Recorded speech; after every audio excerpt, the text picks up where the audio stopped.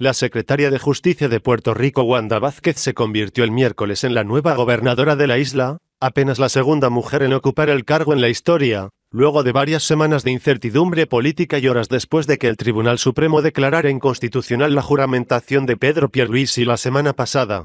Acompañada de su hija y de su esposo, el juez Jorge Díaz, Vázquez rindió juramento ante el Tribunal Supremo antes de salir del recinto sin realizar declaraciones públicas. Puerto Rico necesita certeza y estabilidad, dijo en un comunicado emitido horas antes.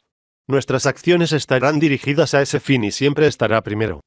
La decisión del tribunal, la cual es inapelable, por el momento resuelve la disputa sobre quién quedará al frente del territorio estadounidense después de que el gobernador anterior y varios de sus funcionarios se vieron forzados a renunciar tras varias semanas de protestas y acusaciones de corrupción, malversación de fondos y la filtración de un chat repleto de obscenidades.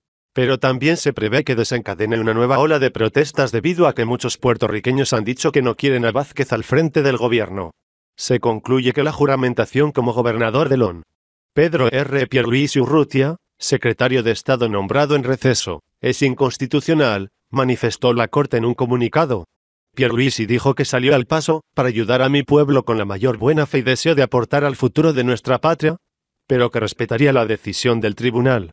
Debo dar paso y apoyar a la secretaria de Justicia de Puerto Rico, la honorable Wanda Vázquez Garced, señaló en un comunicado difundido antes de que la funcionaria prestara juramento. Tras el anuncio, la gente festejó en algunas partes de San Juan y se prevé que los puertorriqueños se reúnan más tarde afuera de la residencia del gobernador en el distrito colonial de la capital, algunos para celebrar el fallo y otros para manifestarse en contra de la próxima gobernadora. Poco después de que se anunció el fallo, cerca de la mansión del gobernador, Alguien gritó a través de un altavoz. Fuera Pierluisi. La Constitución de Puerto Rico se respeta. Los puertorriqueños están física y emocionalmente exhaustos y quieren que esta incertidumbre política llegue a su fin. Aquí se deberían de hacer unas elecciones de nuevo, darle restar, como un juego de PlayStation,